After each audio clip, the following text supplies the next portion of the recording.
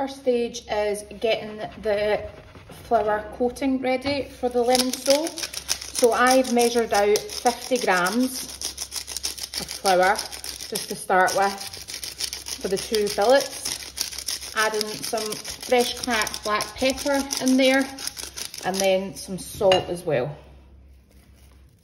And that just seasons the flour. Mix it all through. Next step in prep, juice your lemon. Just get the lemon juice in here, ready to be added later. And then finally chop up a handful of fresh parsley.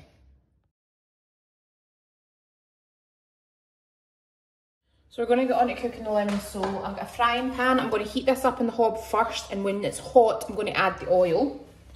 I've also got another plate here because once we've breaded it, cooked it, we're going to put the two fillets onto here and then build up the rest of the sauce, melt the butter, etc. in the pan to then drizzle over the cooked lemon sole fillets. So just have another plate prepped.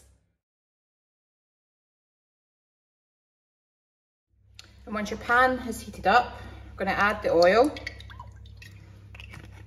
Just don't want the oil burning. And then add your breaded fish.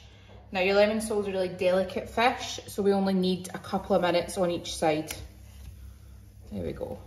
And I've got myself a fish slice to keep it all intact in one piece. So give it two minutes on that side, two minutes on the other side, out and onto the plate you've got sitting at the side.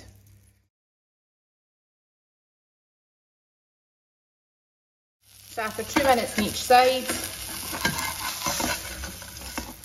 that's that fillet done, nice and golden. And as I said, we're just going to transfer that on to your plate and cook the other one.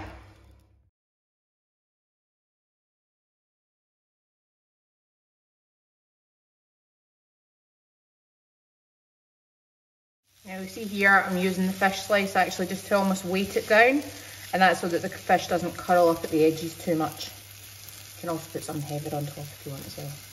There's my timer going, so that's this one also done.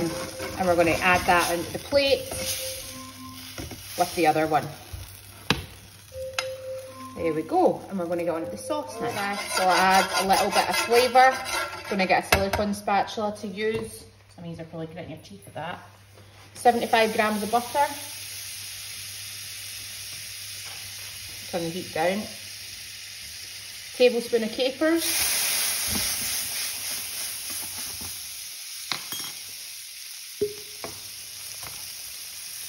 One or two tablespoons of lemon juice, up to you.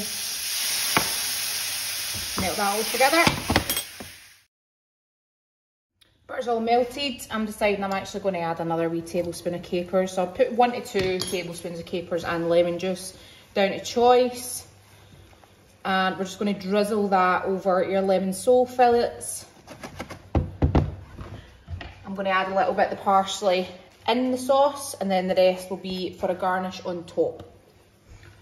stir through, add on top your lemon sole fillets